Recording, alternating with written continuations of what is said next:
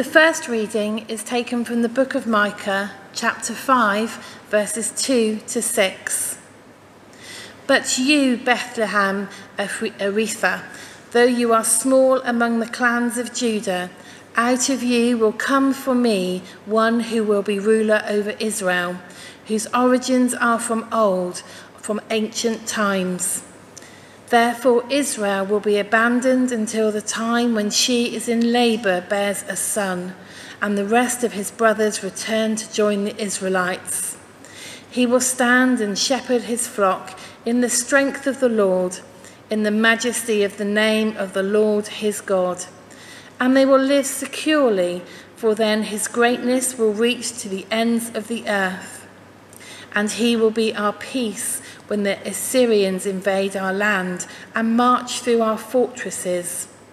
We will raise against them seven shepherds, even eight commanders, who will rule the land of Assyria with the sword, the land of Nimrod with drawn sword.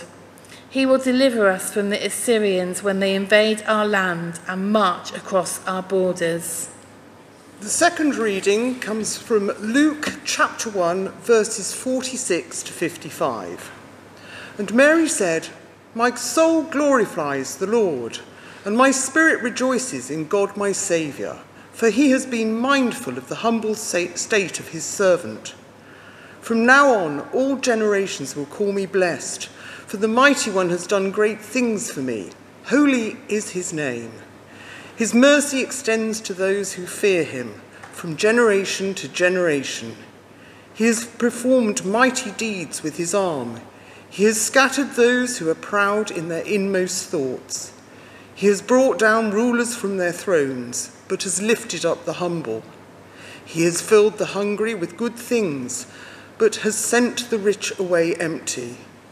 He has helped his servant Israel, remembering to be merciful to Abraham and his descendants forever, just as he promised our ancestors.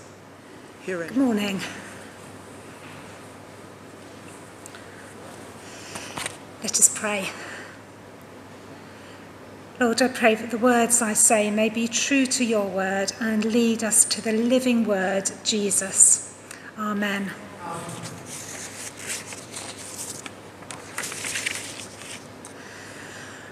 I wonder what you enjoy about being in church. One of the things I really enjoy is singing together and worshipping together. And I found a quote that reads Singing exercises your heart, lungs, and releases endorphins, making you feel good. I'm sure that those of you who like singing may be able to relate to that. I used to belong to the singing group and choir at Stapleton Church, and whenever I go back to join them, I feel there is something powerful in singing together. But perhaps not only singing together, but worshipping together, singing praises to God. In our Micah reading, we heard of the prophecy of Jesus' birth, and in our Luke reading, we hear Mary's song, saying what God has done and will do through Jesus. So, just as a bit of a recap about what happened before. Before this reading in Luke, Mary has heard from the angel that she is pregnant with God's Son. She then goes to Zechariah's house and greets Elizabeth. John, later known as John the Baptist, leaps for joy in her womb, and Elizabeth shouts for joy. Mary then says her song, which we now call the Magnificat, which has since been whispered, chanted, recited, and set to music with trumpets and kettle drums. Paula Gooder, in her book Journey to the Manger, writes that one of the reasons why the Magnificat remains such a powerful song is because it is a near perfect example of worship. So, what is worship? The dictionary in this context defines it as the feeling or expression of reverence and adoration for a deity. I have heard it defined as getting in line with who God is. Prayer is getting in line with God's will. Worship is getting in line with who God is. When I worship, it expands my heart and increases appreciation for who God is, who I am, and the world's relationship with God. It draws me into a union with God and Jesus.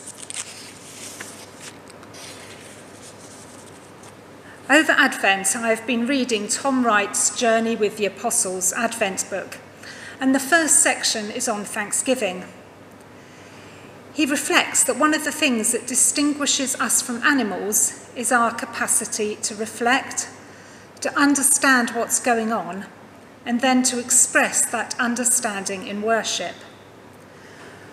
Worship is a central human activity and certainly the most central Christian activity. So, what is it about Mary's song that stands out, and how can we learn from it? So Mary begins by centering herself in her relationship with God and to state her intention of proclaiming God's greatness. My soul magnifies the Lord, and my spirit rejoices in God my Saviour. She then says why she will do this because he has looked with favour on her. She then goes on to use phrases and ideas from the whole of Scripture outlaying God's nature. Much of it echoes the song of Hannah in 1 Samuel, but there are also echoes from Genesis, Deuteronomy, and the Psalms. When we're stuck for words in our worship, we can use the Bible, the Psalms, and other parts of it. And so many songs that we sing echo Scripture. God's nature is to defend the weak, combat the powerful, demonstrate his mercy, and transform lives. When we worship, we are meant to be transformed and become more like Jesus through our worship. We come to the altar singing, Just as I am, and we, we can leave just as we were and just as we always live but we are meant to be transformed, becoming more like Jesus, ready to show mercy, defend the weak, and challenge those unjust structures where the most powerful ones are the only ones with a voice in our society. In worship, we gain a better sense of who God is and who we are in God. His mercy extends to those who fear him from generation to generation he has performed mighty deeds with his arm. He has scattered those who are proud in their inmost thoughts. He has brought down rulers from their thrones, but has lifted up the humble. He has filled the hungry with good things, but has sent the rich away empty. And Mary doesn't stop there. She recognises God's mercy isn't just for her, but for the place where she lived, Israel.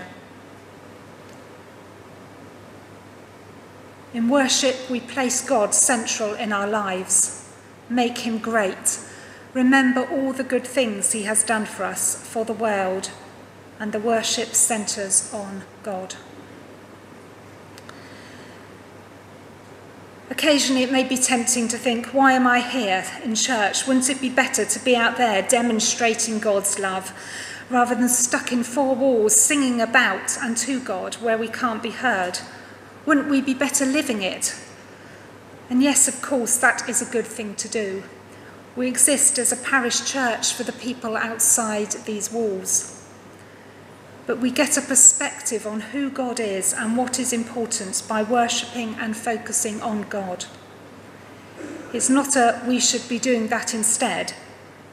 We should be doing that as well, or we do that as a consequence of our worship.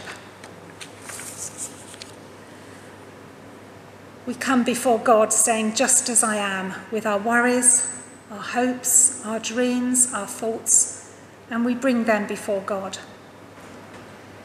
In Romans 12, verse 1, Paul writes, I appeal to you, therefore, brothers and sisters, by the mercies of God, to present your bodies as a living sacrifice, holy and acceptable to God, which is your spiritual worship.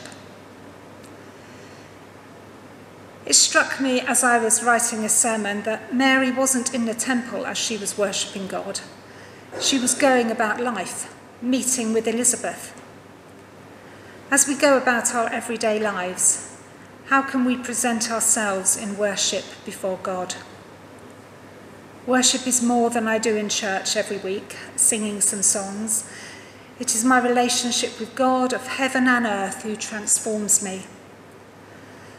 So, in everything I do, I should be conscious of presenting myself to God, offering myself before God, worshipping God in my work, in my house, offering my body as a living sacrifice. The message version translate that verse in Romans 12 verse 1 as So here's what I want you to do. God helping you. Take your everyday, ordinary life, your sleeping, eating, going to work, and walking around life, and place it before God as an offering. Embracing what God does for you is the best thing you can do for Him. We are not called to worship because God needs it, but because by worshipping we experience the abundance and depths of God's love. When we get to know God, we have that relationship and can experience life to the full.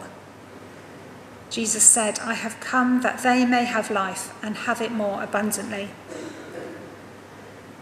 So, at this Christmas season, when we think of Jesus coming to earth as a baby, as a human, as one of us, and going to the cross for us, so may we have life in all its fullness May we bow down in worship as the wise men did and worship him, offering our lives in worship.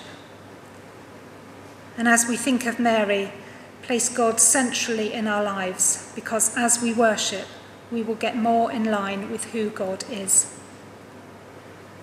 Christmas is a time to remember when God took the initiative and came amongst us. It is a reason to celebrate and worship the Saviour a God of mercy, justice, and love. Let us pray. Lord, I thank you for that privilege of coming to worship you. And we thank you that reminder of the nativity scene when the shepherds and the angels and the wise men worshipped before you. Amen.